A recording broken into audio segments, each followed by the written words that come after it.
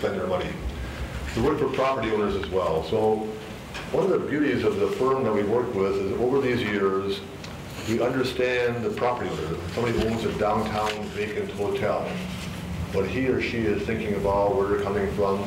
We understand the government official, they're gonna make a grant, or some program, what their policy has to be. Understand the investors, if they're gonna borrow 10, 20, 30, 40 million dollars in bond money, what are they looking for? To understand the players that are involved. One of the harder players to understand is the public sector. Because what are your perspectives? Are you just trying to, are you trying to achieve a a more viable downtown, or a more attractive downtown, or solve the issues for the poor? Or, so you often have a mixed bag of objectives. So we spend our time trying to figure out each situation, as Mr. Hall pointed out. On this handout you see, we've worked a great deal in Louisiana. I've been here for 20 years. We have an office and uh, apartment in New Orleans that I use, especially during the French Quarter Festival, other major events for economies, economists. Uh, But I think the important part is that we've done these kind of projects throughout the country. We have watched cities evolve, trying to pursue that stadium, or that convention center, or that, that miracle uh, silver bullet to solve all their problems. We've also done a lot of waterfront development. That is always an emerging program, emerging asset, as we bring to the table here, I believe. We know the trends in the market, we know the trends in development. The strengths of our work, I think, as Mr. Hall pointed out, is, as we've outlined it on, on the handout here, ERA will provide an objective analysis of the market. What is the market for property in downtown Alexandria? What is the potential? What could really happen here? What is a realistic understanding of market opportunities? We have found over the time that if you have a diverse number of players involved, if they all understand the market, so those of you who are too optimistic, we bring you down to earth a little. That it's not quite that easy. It's going to be a bit of an uphill battle. We have to provide some parking. We have to provide some incentives. Those of you who are a bit pessimistic, oh, that won't work, you understand it. So the market kind of brings people together a little bit. Understand the market, market opportunities. That's the first part of our assignment here, is to define the market for the riverfront in downtown Alexandria for opportunities. The second part of that is getting commitment. We have found we can show you, we can show the state, we can show the parish, we can show the investors or the, the major downtown users, the hospitals, the bank, we can show them the value of a program, we can get commitment. So a large part of our work in simple terms is to understand the market, what is feasible, what can happen in the next few years, how is Alexandria changing, how can we capture part of that change, to get consensus on what our objectives are, where we want to focus our attention, and then get some commitment to make it happen, to produce visible results. Now, what we proposed for you in our detailed proposal is a team. The team is us and you. We asked Alexandria to tell us what kind of reports they have. We have received some very impressive documents over the last 10 years that were done here. Different studies that were done, different programs that were done. You have an excellent database. Now, we've not really tested all of it out, but it, it appears excellent. Some research has been done, some homework has been done. Uh, you've we've identified for us four or five entities that do funding programs. So we know, so the, some pieces, the, the pieces seem to be in place. So we have this team approach. And uh, what we're doing right now, David is focusing on gathering data and information and studies that were done before, reports. We're going to do some interviews to find out what your perceptions are. What are your priorities for downtown and the waterfront? You've seen the list, the marina, you've seen the list for new retail, we've seen the list for potential housing, the long list of things you want to see happening in downtown. We want to talk to each of you, interview some other, what we call decision makers who are involved here, with the city, with the parish, with private companies. Just get a feeling, what, what- are they shooting for? What are the priorities here? We have the reports, and we do some interviews, and we'll come back to you, come back to you in about three or four weeks and say, we've analyzed all your documents, all your reports, all your data. We've interviewed some of the people who make decisions here, you people for sure, others like you. And here, these what, this appears to be your priorities. That's what we call our orientation process. So you bring to the table the data, you bring your priorities, we bring our national experience and our objectivity. It's kind of a, a, a team process here early on. On the document we handed out, phase one is orientation, initial summary. We'll look at the real estate market here, look at what's been going on, how it's changing, uh, how you are involved with other evolution in the, in the, in the market area. We were talking this morning about your convention center. We've been working from Corpus Christi to the panhandle of Florida. There are some major casinos who are all building convention space, convention activity. They are subsidizing that space. You can get a free convention center for a week if you bring 400 people there. They'll give you breakfast, what have you. So many areas in this Gulf Coast are, are having trouble with the convention business. the tourism business, tourism business is changing dramatically pre-Katrina. Look at retirement opportunities that are out there. 80 million boomers turning 60 years of age, considering second home locations, retirement. We'll go through that whole process. We'll come back to you in a workshop in, a, in about, with Mr. Hall's concurrence, uh, three weeks to four weeks. And based on what we, what we heard from our interviews here, what you told us your priorities were, what we see as the market, we'll talk about how this might mesh. What are the legitimate opportunities here? What might work on that waterfront? Once we agree, then we'll do our detailed market study. So we have a workshop with you in three or four weeks. We make sure we've heard it all from you. We heard your priorities. We heard your interest. We've reviewed all the data that's available. We've applied our experience throughout the area, what we've done in other cities in the area, what they've learned. Then we'll do our market, our market assessment. We call it a SWOT analysis. What are your strengths, weaknesses, opportunities, and threats? Can we do a marina downtown? Can we revitalize that older hotel downtown? Can we attract new investors downtown? What are our opportunities for, for your priorities? Then we'll do some more detailed analysis for market refinement, try to find some partnerships. A partnership for development, a partnership for different activities in the downtown area. A, where are some opportunities for funding? Follow the money. Where are some partners that can make this thing work?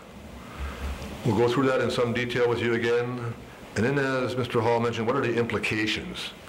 If we were to revitalize this part of the river, or we add this activity over here, we were to get this new, this hotel revitalized, we were to add some downtown housing, if we were to make the, uh, the arena work, what are the impacts? What are the benefits? Who benefits from this? I mentioned when the first time I was here, we learned, I learned this a long time ago, whoever benefits pays, whoever pays benefits. If you don't benefit, you shouldn't be paying. If you don't benefit from a project, you should be perhaps arms back. If you benefit, you should be involved somehow, either as a private businessman, as a partner, or as a taxing body, as a taxing entity, or as a taxpayer. So we'll walk through that with you and try to cover that in some detail. The downtown, the riverfront, in reading the reports that you did provide us, it's fairly clear that most of the people who are involved in downtown Alexandria realize the importance of the river, the future of this downtown, future of this city. Uh, if you go around the Midwest, if you go around the, the Gulf Coast, if you go around wherever we are working, the downtown is always viewed as the future of the city. It's the urban place.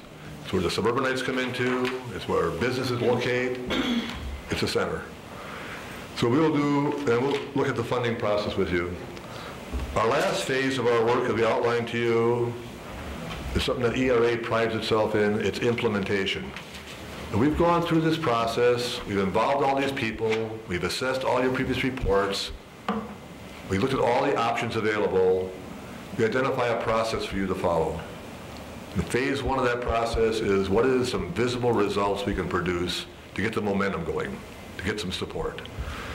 So that's our process. I think uh, it is it is not complicated. We've done it before. We cannot apply our work in downtown Baton Rouge. We cannot apply our work in downtown Lafayette because you're different. Your objectives are different, your markets are different, but we can bring our experience along with us. How we found the funding, how we got the partnerships going, how we identified some outside resources, etc. I'll let David talk about our next, our phase we're going through right now. Um, we'll be available for any questions. Hi, everyone. Thanks for allowing us to come give you this uh, summary, and I think Dick did a pretty comprehensive uh, uh, rundown of what we're doing, but um, this first phase, we're going to be here, I'm going to be here until Wednesday afternoon. Uh, We're going to be conducting interviews, trying to get a good feel for your city and, and, you know, what makes Alexandria, Alexandria as opposed to anywhere else in the world. And, uh, and that's going to include, uh, you know, trying to interview people that are involved in the real estate market here, that are involved in the public policy making and, and the decision-making, and, uh, and tr- trying to get as much data as we can. Now, as Dick said, we've already got a number of reports um, that we're looking at, but if, if any of you have additional data, additional information, reports, studies that maybe we haven't seen, that's uh, something that we'd definitely like to see. Um, Every angle, every, every piece of information that we can possibly, uh, you know, look at to get a good feel for what has been done here before and where we can take that in the future. Um, So we start with the, an analysis of the real estate market, the trends, um, supply and demand. Um, We look at the market, we look at the competition around, you know, maybe this works here, this doesn't work here, but if you do this first, then this comes along, and if you do this here, then it can act as a catalyst for uh, another project that might come down the road. And and that's really our job, is, is to give you a good sense of, of where you can take the market and, and what you can do here. Um, As Dick said, in about three or four weeks, we'll be having a workshop. We will uh, try and provide everyone on the board with an initial list of what our, our findings and conclusions of the market are, so that you can have that information before we come back and, and, and conduct our workshop. And uh, other than that, I think that's, that's pretty much the first phase, and uh, again, we appreciate you having us here and, and giving us the opportunity to tell you about what we're doing. Sure. When we come back to the workshop, we'll come back a few days early to finish our interviews.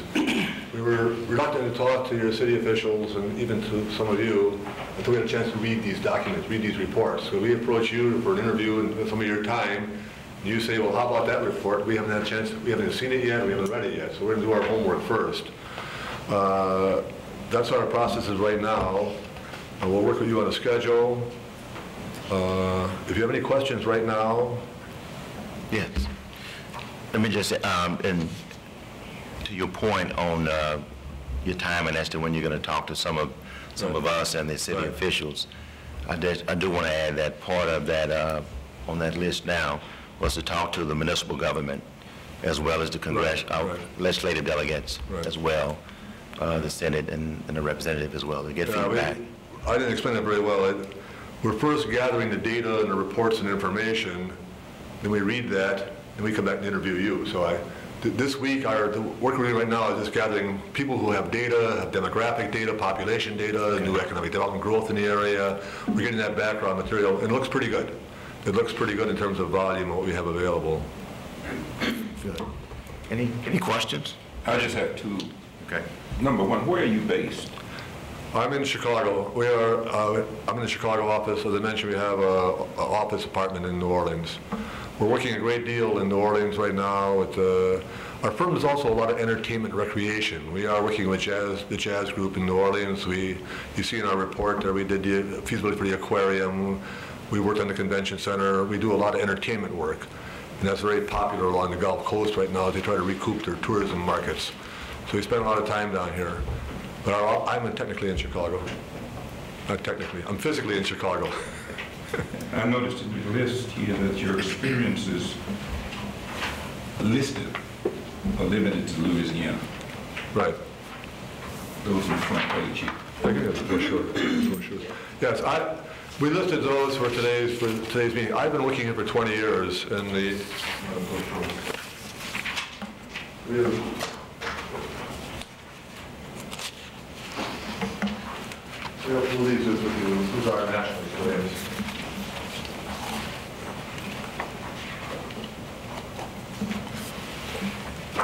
This as well, we did this that we got back in People July. won't heavy, the brochures. Give me some more of those.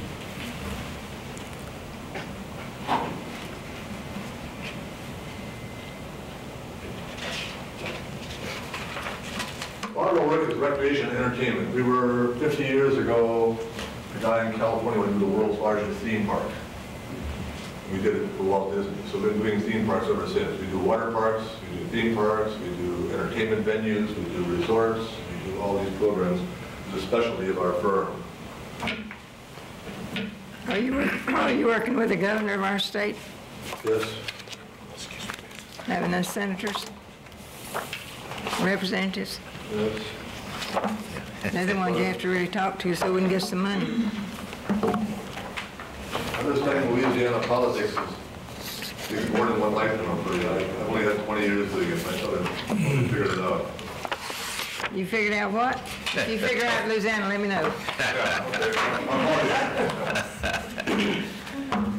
A- Any other questions, comments? The, uh, go ahead, John. You you indicated you've been getting uh, copies of various studies and reports that have Yeah. uh, been going on. I don't know if you've contacted the Port of Alexandria, but there were several studies that were uh, sitting on a table at last week's meeting. I'd encourage you to go get them. Yeah, absolutely. We will- Done by the Waterway Commission. We'll make the list on Thursday of this week, and then we'll send it to Mr. Hall, and you can pass it on, of what reports we have seen and assembled. It isn't that you would have a report, you might know somebody that's done one. Once in a while, the private sector, the shopping malls, the survey of who their, who their customers are, and that isn't out there floating around on somebody's table. If we call them, they'll make it available to us, or it's that kind of thing we're looking for as well. Trying to figure out, where does Alexandria rate as the urban place for this regional area? What, what role do we play here? What role is established here? What is missing here? What, why are they going to Baton Rouge or Lafayette instead of here, that kind of thing. And that would be done, the mall would have that kind of survey, or some hotel would have that kind of survey, who their customers are. So that takes a little bit of input from you people locally. Well, call so-and-so, he may have that, or call, she may have a document like that. We want to, we want to paint a picture of where you stand today, what the trends have been, then identify where, where are the opportunities. Once in a while, you gotta do more than one thing. If we- only had a hotel, we could have a convention center. If we only had a convention, center, we could have a hotel, chicken or the egg. Our firm has made a living saying it's the chicken and the egg. You gotta have them both. We had a marina downtown and a lively waterfront, we could have downtown housing. If we had downtown housing, we have a lively downtown. Well, you, you gotta combine those two. You gotta have that kind of demographics, that population down there. So that's what part of our work is, and that's what we'll spell out to you as we go forward. Okay. Any, any other comments or questions? Um, Okay. Thank you very much. Did did you want to cover anything on incentives? Well, we- it came up many times in our initial data gathering that uh, trying to figure out how you incentivize, how you attract, uh, get cooperation from property owners, building owners, how you get businesses involved, and the whole TIF idea came up. I've been working with TIFs for all of my career. They're different, they evolve. We worked with BIDs, Business Improvement Districts, tax increment finance districts, special assessment districts, there's a whole range of programs, but usually they follow the opportunities. When you identify opportunities for the downtown area, and who's going to benefit from that opportunity, who will max, then you figure out how to fund it. So we'll work with you on that. I think the, Louisiana has a package of things right now that's fairly aggressive following Katrina and other changes in legislature and a new governor. So we'll try, you've also have around four or five entities here uh, regional and multi-parish and uh, the river corridor who have staff who are looking for funding opportunities, et cetera. So we'll try to coordinate with them as well on, uh, on your funding options. But I think uh, from our initial contacts down here in Alexandria, the, following the money might be a very important part of the strategy. If there are funds available here, or this could be funded there, you know, ideally, we would do X. If there's money for X and Y, well, we can do X and Y. So that whole idea, what we're doing in New Orleans right now, what we're doing uh, elsewhere right now, trying to figure out where are some funding opportunities. So we'll work with you on that as well. Okay. And, and as it relates to the timing, uh, you indicated maybe three to four weeks, uh, you'll come back and do the Yeah, workshop. There is almost, from our perspective, since you have a fairly good database, at least it appears a a good database, we don't have to spend all those hours doing that analysis and demographics, all that, it's all available. There is no reason not to proceed at a fairly rapid pace at this point in time. There's no reason, this should move forward, move forward. The funding is out there, there are- our de- de- developers are out there looking around, there are opportunities out there. Now, it takes a while to build consensus here and get the city council on board and the parish official, we understand that. But from our perspective, we would urge you to move as quickly as you possibly can uh, to get a strategy that can lead to visible results and get some momentum going, more momentum going. Okay. Any, any comments, thoughts? Well, I was just thinking, if you want to find out what's going on in the city of Alexandria and how the people feel, give a big free food deal down here, and you'll have everybody come eat and tell you something. Okay. I'll check with Mr. Hall on our budget uh, we have. uh, Not talking about us paying for it. Okay. Okay, thank you, uh, David and Dick, uh, for uh, what you're doing. And uh, just to give, for further clarity, they're going to continue to move forward. Uh, They worked with, uh, with John on the, uh, on the final, on the final document there, but they just felt the need to go ahead and get started with the data gathering. And uh, they, they're doing an excellent job, and hopefully the timing and everything will work out uh, so that we can uh, perhaps have more quantifiable as well as qualifiable data to assist in, in some of the activity that's going on in the area. There are a lot of things taking place. We know that there is a, as I shared with Dick, a proposal, a TIF proposal that's been submitted uh, by one of the rep- uh, representatives. And uh, just at this point, uh, we don't have anything to contribute uh, to that as far as quantifying that project, but we are certain that uh, as we move forward, we're going to have some very usable data uh, that would help us move forward and certainly help develop the, uh, the final portions of the uh, amendment that's being done right now. So uh, with that, any, any comments from anybody as it relates to uh, what, any question that Dick had presented today uh, from his scope of his project that uh, he's going to be presenting? I don't mind taking the privilege to do that. And I want to thank everybody that's, that's attending so far. So if you have some questions or thoughts about it later on in the program, certainly feel free to let me know, and we'll, uh, we'll acknowledge it.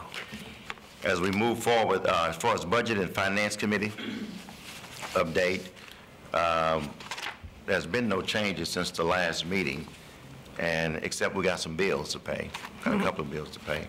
Um, I think uh, we have to pay John about 800 bucks.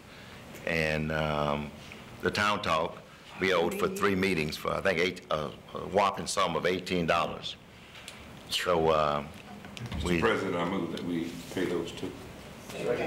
all in favor, let it be known by saying aye. Thank you, we'll move on. Anything from the Commercial Committee?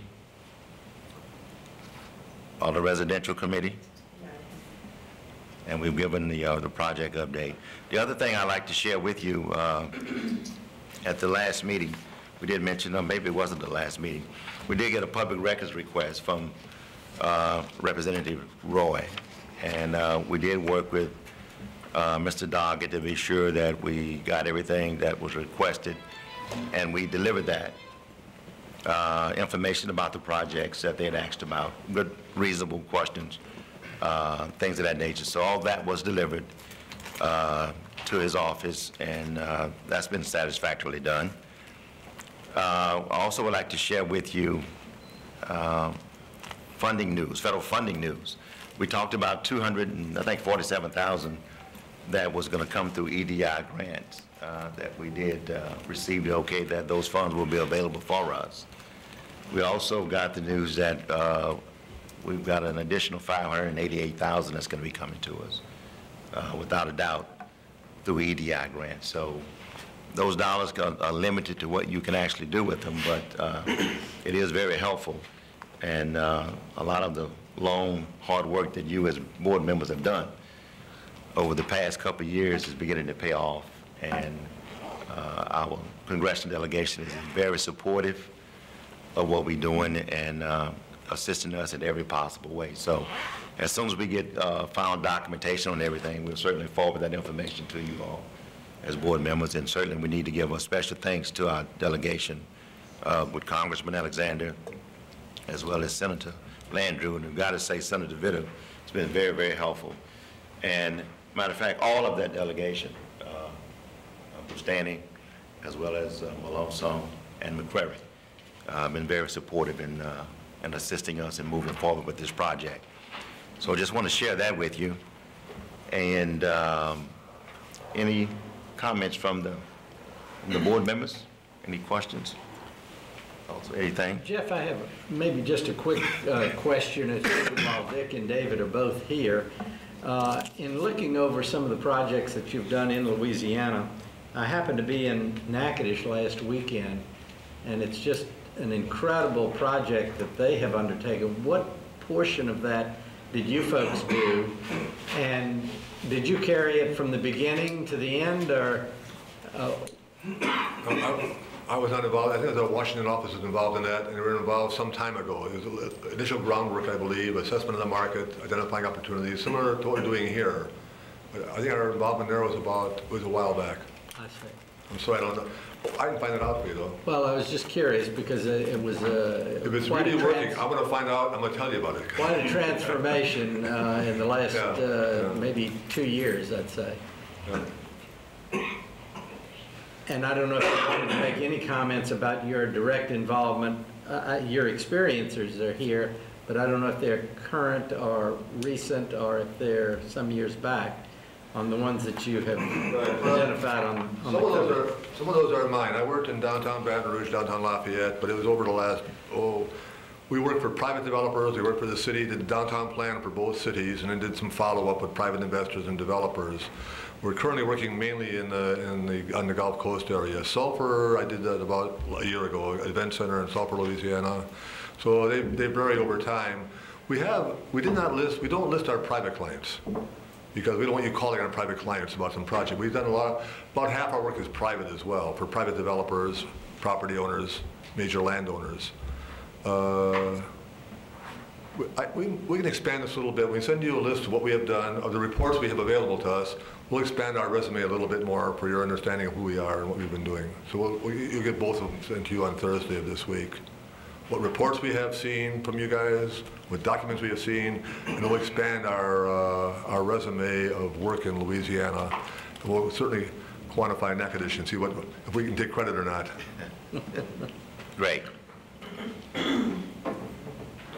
Any comments? Any questions or comments from the, uh, from the audience? Glad to have Mr. Curtis here to visit with us. Yes, ma'am? I do have a question. Will the uh, meeting in three or four weeks be a public hearing meeting, or will it just be something similar to this forum? Or will it be something where the the Public's invited stakeholders here and anytime. everyone's invited to attend? Yeah, I think it's going to be uh, just an update meeting, part of the process, because that product, but we'll share that information, but it's probably going to be in a format that's not uh, exercisable. Uh, I think it's just going to be part of the phases that we'll go through to get that final pro- uh, product. But let's see, if it's something that we need to do publicly, uh, we certainly will do it. But I think uh, in- initially, uh, he is just going to be gathering a summary of what he believes to be some important things that we might want to pursue, pursue after he finished gleaning over some of the reports of the past. That's a good point, but if, um, it depends on the format that is in. Uh, We have no problem reporting it, but certainly when we meet, we will discuss it and make it available for the public. Okay. Good question. With that, hearing no other questions or comments, I'll entertain a motion. Move for adjournment. Second. All right, thank you. Thank you.